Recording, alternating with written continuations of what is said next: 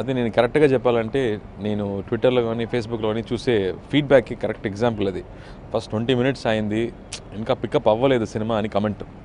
ఆ తర్వాత ఇంటర్వ్యూలు వచ్చినప్పుడు అబ్బా నవ్వుతాను సూపర్ కామెడీ సర్ప్రైజ్ నేను కామెడీ ఎక్స్పెక్ట్ చేయలేదు అన్నారు.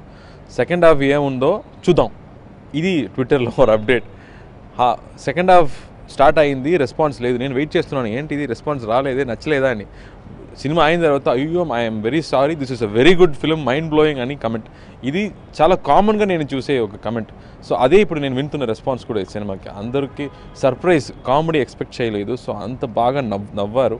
అండ్ సెకండ్ హాఫ్లో రాజ్నాయక్ క్యారెక్టర్ వచ్చిన తర్వాత ఆ రత్నమాదేవి క్యారెక్టర్ నయనతార క్యారెక్టర్ నా క్యారెక్టర్ కానీ ఆ జరుగుతున్న విషయాలు ఆ వార్ సీక్వెన్స్ కానీ ఆ కింగ్డమ్లో జరుగుతున్న విషయాలు కానీ అండ్ క్లైమాక్స్లో ఉండే కామెడీ విషయాలు కానీ అన్నీ చాలా బాగా ఎంజాయ్ చేశాడు.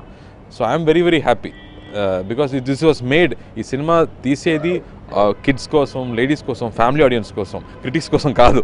సో ఫ్యామిలీస్ ఎంజాయ్ చేయాలనే ఈ సినిమా తీసాము. ఒక two years of hard work so ఆ చూసిన తర్వాత అందరూ చెప్తున్నది I feel so happy feel so happy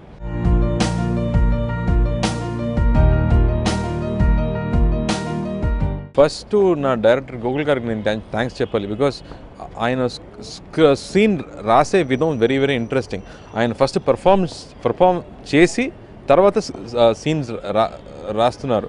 So there is lot of scope of performance ఆయన స్క్రిప్ట్ చెప్పేటప్పుడు కానీ ఆ సీన్ ఎక్స్ప్లెయిన్ చే చేసేటప్పుడు కానీ నటించి చూపించాడు. So is done lot of research for ఒక్కొక్క క్యారెక్టర్ సో పర్ఫార్మెన్స్కి ఎక్కువ స్కోప్ ఇస్ ఇస్తారు.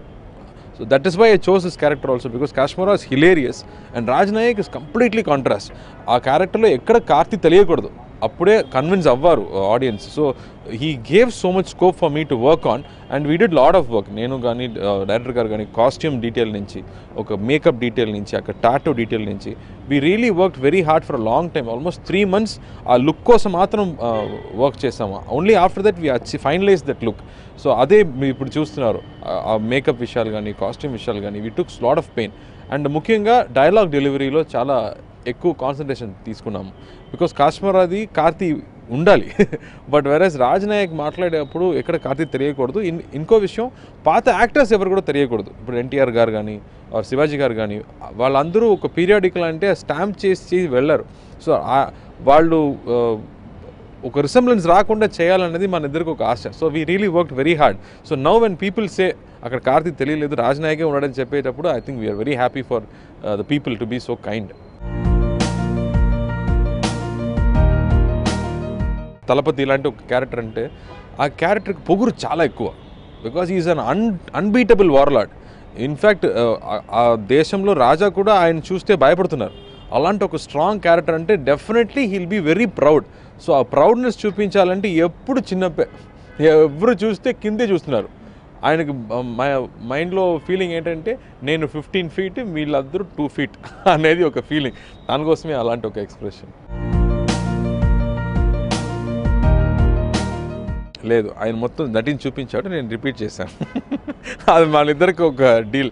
సార్ ఇది అన్నీ నేను చేయలేదు సార్ డాన్స్ మాస్టర్ చెప్పాడు మీరు చెప్పాడు దానికోసం నేను చెప్పాను. బట్ ఆ క్యారెక్టర్ అలాంటి క్యారెక్టర్. చాలా ఫ్యాన్స్ కూడా అడిగారు సార్ ఇప్పటి వరకు మీ ఇలాంటి మీ క్లోజ్ సీన్స్ నేను చూడలేదు. అదే హీరో అంటే నేను చేయను ఇది విలన్ కాబట్టి నేను చేశాను. బట్ అది ఒక very important for that character. అది మీరు చూస్తే ఆ సాంగ్ మొత్తం డబుల్ మీనింగ్. ఆ అమ్మాయి ఏదో పాడుతుంది బట్ లోపల మీనింగ్ వేరేదో. ఒక్కొక్క లిరిక్ మీరు చూస్తే అది మళ్ళీ ఫుల్ డబుల్ మీనింగ్ అది రాజనాయక్ కూడా తెలుసు. అందుకే ఇద్దరు కేర్ఫుల్గానే ఉంటున్నారు. అది ఏమో ఒక ఫస్ట్ నైట్ సీన్ లాగా జరుగుతుంది బట్ దాని మొత్తం యాక్షనే అది. So that way it was interesting to perform నేను నైన్తర అడిగి మాట్లాడేప్పుడు చూద్దాము నీ కాస్కర్ నే ఆస్కర్ నా నాకు చూద్దామని we really had a tough time doing that అదండి ఇప్పుడు నేను స్క్రిప్ట్ వినేటప్పుడు నాకేం నచ్చుతుందో అది నేను చేస్తున్నాను. ఇప్పటి వరకు నేను ట్రెండ్స్ ఏమో ఫాలో చేయలేదు. So whatever I like I do so so ఇప్పుడు ముందు సినిమా చూస్తే Oopiri relationship based friendship based beautiful script అది. ఎవరు వింటే అది వద్దని చెప్పారు. బికాస్ వెరీ ఇంట్రెస్టింగ్ ఈ సినిమా చూస్తే it's it's it's it's like what is gift for an actor ఇప్పుడు ఇలాంటి ఒక సినిమా కాశ్మీర్ లాంటి సినిమా ఒక యాక్టర్కి ఒక బ్లెస్సింగ్ లాంటి విషయం. అన్ని వెరైటీ చూపించాలి ఛాన్స్ ఉన్నాయి ఒక విషయం. నెక్స్ట్ సినిమా చూస్తే లవ్ స్టోరీ. మణిరత్నం గారి cinema. So I'm very lucky that way directors are giving me different roles అదే so I do what I like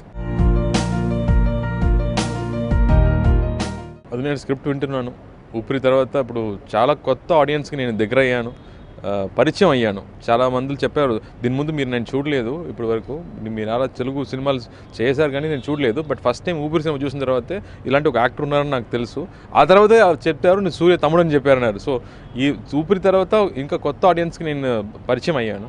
But now I'm getting lot of scripts. Telugu నుంచి scripts వస్తుంది. But అన్నీ బైలింగుల్గా ఉంది.